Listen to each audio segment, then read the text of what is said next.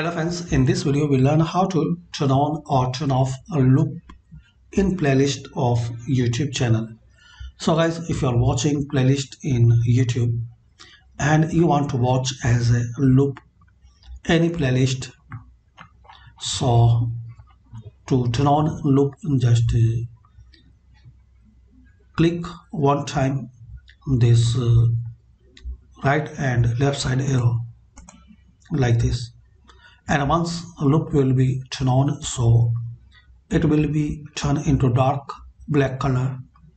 And once loop is off so it will be a gray color. As we can see now its loop is off and this arrow color is gray. Once you turn on loop so color will be changed.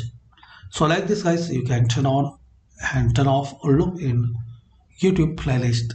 Thanks for watching.